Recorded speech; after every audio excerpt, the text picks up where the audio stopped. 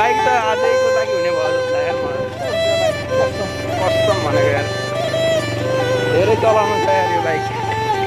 धेरै यात्रा गर्नु यात्रा गर्नु छ।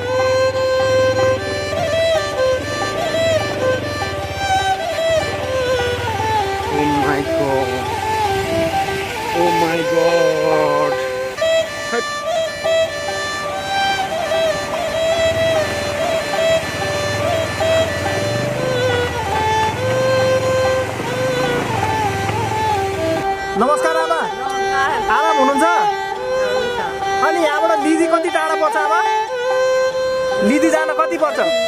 पर्छ कति घन्टा? छ घन्टा ओहो हो धेरै पो रहेछ तपाईँ। धेरै भयो। के भयो? यो पुरै यो बाङ्गो भएको अहिले सोझाम त हानेर ढुङ्गाले हानेको खै मैले हाम्रो सोधाएको यहाँ हान्ने स्क्र्याच भयो त्यो नयाँ bike oh my god oh my lord यस्तो गरेर अब हिँडिरहेको छौँ हामी है। वाउ गुड हाम्रो पाइलट उहाँ हुनुहुन्छ। अघिसम्म चाहिँ म बोलिरहेको थिएँ भने अब यो खिच्ने मान्छे को रहेछ भन्ने कुरा कौतुहलता हुनसक्छ उहाँ चाहिँ बुद्ध क्रिएसन नेपालको प्रोप्राइटर वीरेन्द्र धामी हुनुहुन्छ दाई हुनुहुन्छ। दाई हजुरलाई कस्तो लागिरहेको छ यो यात्रा? Oh my god oh my lord भाइहरूको गाडीको एउटाको गियर नै बाङ्गो भएको छ। अनि हाम्रो सम्पत्ति सरको बाइकमा ट्याक्राको पारेर कता ट्याक्क पारेर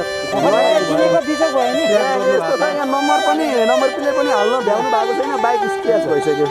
दुःख गर्नु भएको छ भाइहरूले एकदमै खुसी लाग्छ। मलाई पनि पहिलोचोटि यो दुःखसँग एकदम सहकारी गर्न पाएको छु आउनु पाएको छु। एकदमै खुसी लागेको छ। भाइहरूले यति दुःख गरिरहनु भएको रहेछ। सबैले सपोर्ट गरिदिनु होला भन्न चाहन्छु। अब बाइकहरूको हामी भन्दा पनि हामीलाई चाहिँ बाइकको पिर लागिरहेको छ। हामीले यस्ता भोलिको दिनमा पनि यस्ता घटना घटेको ठाउँमा थुप्रै ठाउँमा जानुपर्ने हुन्छ तर बाइकको चाहिँ पुरै सत्यानाशै भइसकेको अवस्था छ। अब हेरौँ अब के गरौँ त यस्तै छ। आइसकेपछि अब फर्केर जान पनि मिलेन। हामी जस्तो मान्छेले अब यो भन्ने कुरा पनि होइन क्या। मैले अब तपाईँले सोधिहाल्नु पऱ्यो मेरो मुखबाट फुचुक निस्किहाल्यो यो कुरा। र ठिकै छ यस्ता कुराहरू आइरहेको हुन्छन् ओके वेल डन ब्रो एकदम अगाडि बढौँ केही छैन।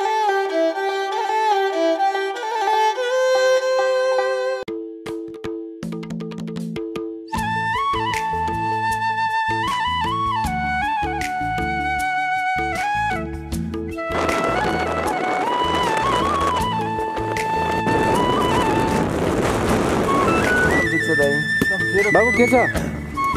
आफू लागि गएको छ बिहानै रातले आएको एकदमै हुन्छ नटेको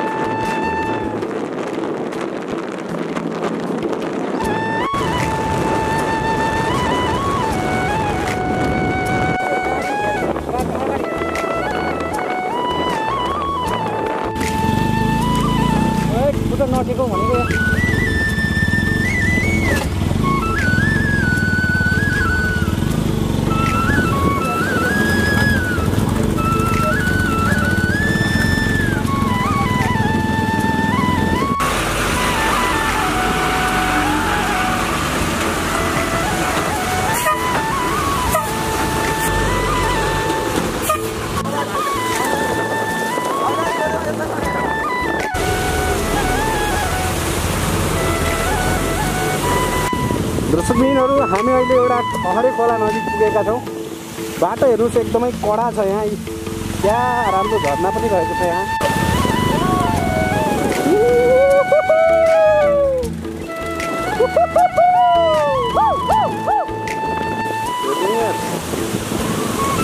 बिस्तारै बिस्तारै बिस्तारै बिस्तारै बिस्तारै बिस्तारै।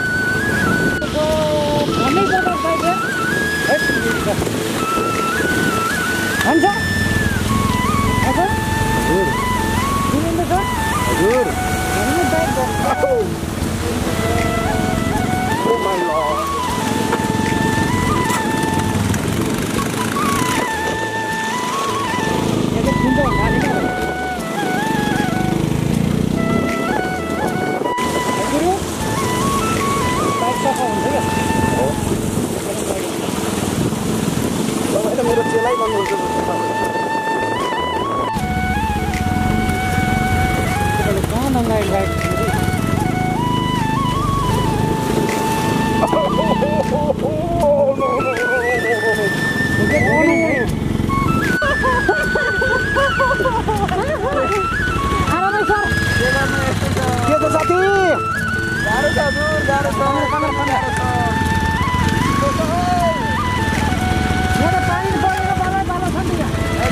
नमस्कार आमा। आराम हुनुहुन्छ?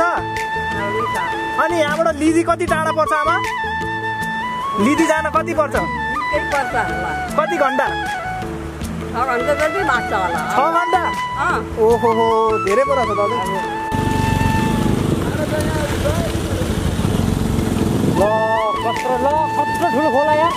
के भयो? यो पुरै यो बाङ्गो भएको अहिले सोझाम त हानेर ढुङ्गाले हानेको ढुङ्गाले हामीले सोधाएको यहाँ हान्दा स्क्राच भयो त्यो नयाँ bike oh my god oh my lord यस्तो गरेर अब हिँडिरहेछौँ हामी है। वाउ गुड हाम्रो पाइलट उहाँ हुनुहुन्छ सम्पत्ति लामा।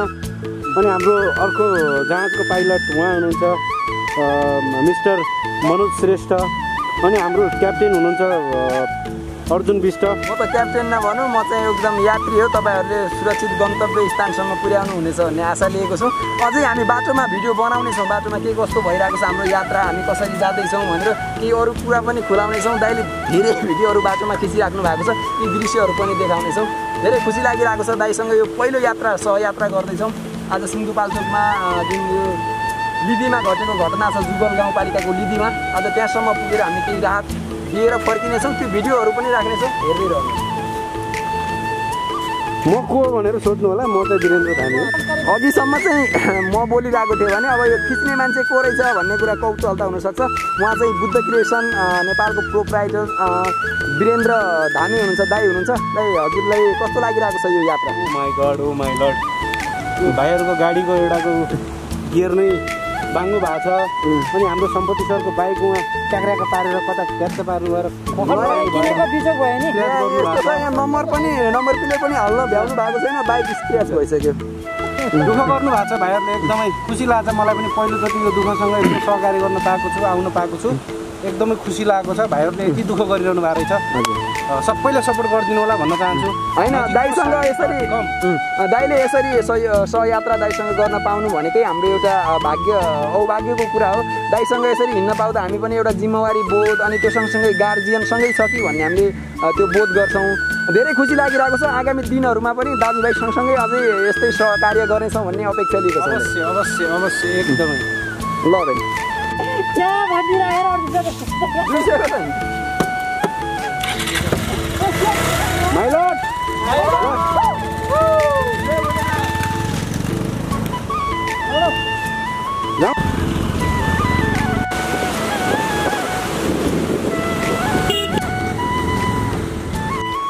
भनेपछि यहाँ चाहिँ निकै टाढा छ है अझै त्यो बादलै लागेको ठाउँमा जानुपर्ने हो त?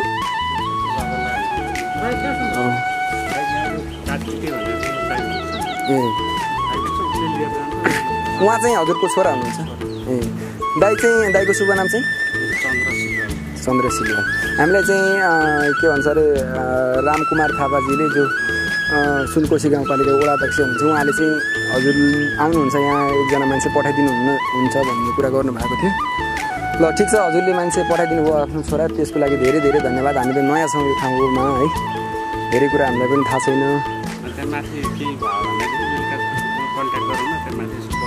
ए हुन्छ हुन्छ हुन्छ हुन्छ हुन्छ। त्यो हामी के त्यस्तो पऱ्यो भने हामी चाहिँ जानकार छैनौँ। तपाईँले हामी तपाईँलाई सम्पर्क गर्छौँ नि त। है त अहिले लाग्छौँ है त हामी माथि। ल हस् थ्याङ्क यू हजुरलाई. हजुर चाहिँ उहाँको छोरा होइन त? ल जाउँ हामी अब सँगै जान्छौँ ल। होस्। हाम्रो साथीहरू कसरी आइरहनु भएको छ हेर्नुहोस् आदरणीय दर्शकबिन। एकदमै दुःख गरिरहनु भएको छ। बाइक हेर्नुहोस् त यो बाटोको अवस्था हेर्नुहोस् यहाँ। एकदमै नाजुक छ अवस्था पानी परेर एकदमै हिलाम्ने छ बाटो।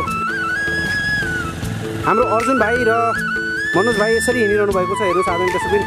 उहाँहरू एकदमै गाह्रो तरिकाले एकदमै रिस्क लिएर बाइकको बडी तल ठोकिरहेको छ। तर पनि हामी हिँड्नुपर्ने अवस्था छ।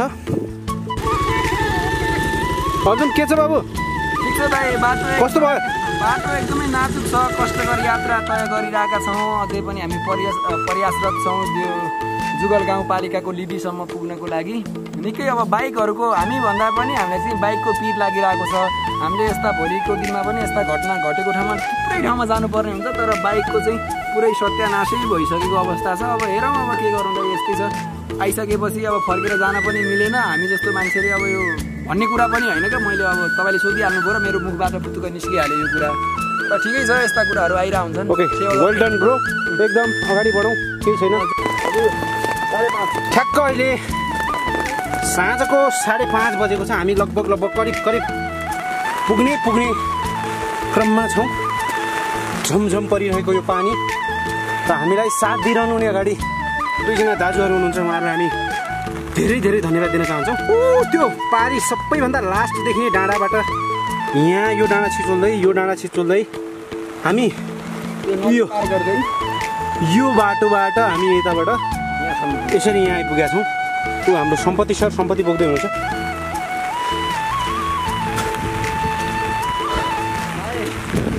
आदरणीय दर्शक महानुभावहरू लामो सास फेर्न हामी हामीले बल्ल लामो सास फेर्न पाएका छौँ। हामी बल्ल यो लिदीमा टच गरेका छौँ। यहाँहरू देख्न सक्नुहुन्छ हाम्रो साथीहरूको अनुहारको एउटा मुस्कान। एउटा गन्तव्यमा पुग्दाको एउटा मुस्कान? कस्तो महसुस भइरहेछ? फाइनली वी आर एट हाम्रो लिदी। यस्तो एक्सपिरियन्स त्यो पनि यस्ता खतरा खतरा योभन्दा पहिला यसरी हिँड्नु भएको थियो किन होइन म त योभन्दा धेरै हिँडेको छु हो यो त मेरो लागि यसको तिन गुणा बढी म हिँडेको छु। भारी बोकेर भारी बोकेर कुन ठाउँमा हिँड्नु भएको छ पोखरातिर आज जनता जान्न चाहन्छ पोखरातिर एकदम घुमेको छु घुम्नु भएको छ आर्मी ओके। त्यही भएर यता हाम्रो हामीलाई बाटो देखाउने भाइहरू हुनुहुन्छ भाइ अब कति छ पाँच मिनटमा हामी पुग्छौँ अर्जुन बाबु। के छ? प्रतिक्रिया? केही छैन यतिखेर म निकै स्तब्ध छु। सबै साथीहरू थाकिरहेका छन् त तैपनि आफ्नो मुहारमा त्यो थकाइ महसुस गरिरहेका छैनन्। म त्योदेखि सन्तुष्ट छु। म आफ्नो साथीहरूलाई यहाँसम्म सकुशल पुर्याउन सकेँ र स्वयं आफू पनि पुग्न सकेँ। त्यसैमा म धेरै खुसी छु। अब अरू म धेरै केही भन्दिनँ देखि यहाँले देख्न सक्नुहुन्छ।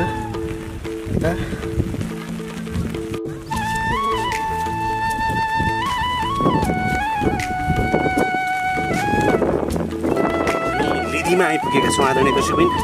यहाँहरूको माया शुभेच्छा।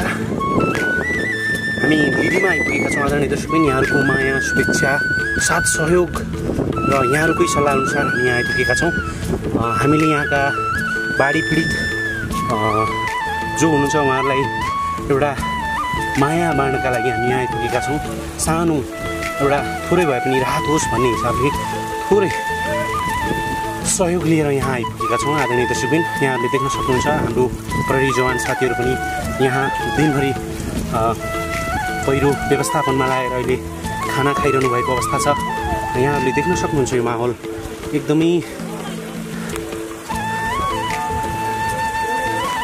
सुकमान बाबुहरू यो मौसम देख्दा यस्तो लाग्छ। अझै हामीलाई यहाँ आइपुग्दा एकदमै डर लागिरहेको छ। यो तपाईँले देख्न सक्नुहुन्छ। लिदीमा पहिरो। हाम्रो आदरणीय भाइ अर्जुन विष्ट घटनास्थल नजिकैबाट अध्ययन गरेर फर्किनु भएको छ। अर्जुन भाइ के छ? पछिल्लो अवस्था। म त्यहाँसम्म जाने भनेर हजुरहरूसँग पनि कुराकानी गरेको थिएँ र त्यहाँसम्म जानको लागि गएको अवस्था हो। तर यहाँको प्रत्यक्षदर्शी यहाँको स्थानीयहरूले त्यो ठाउँमा नजानको लागि अनुरोध गरिसकेपछि मैले चाहिँ त्यो बाटैबाट बिट मारेर स्थगित गरेर फर्केको छु। यद्यपि त्यो घटनाको घटना स्थिति वस्तुस्थिति देखाउन मन थियो र अहिले साँझको साढे छ बजिसकेको छ। साढे छ बज्दाखेरि यहाँको यो मौसमले निकै च्यालेन्ज गरेर यो हुस्सो लागेर केही नदेख्ने भइसकेपछि त्यहाँ पहिरो गइरहेको छ अहिले पनि।